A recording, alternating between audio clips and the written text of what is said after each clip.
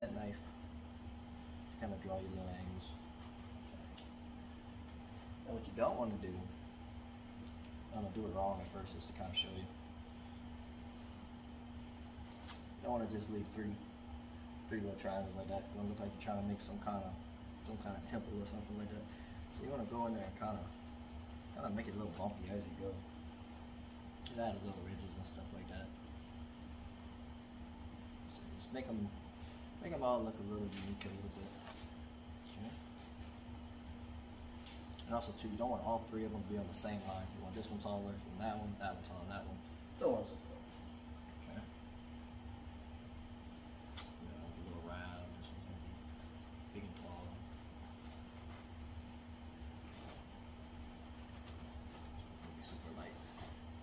All I'm doing is scraping that paint.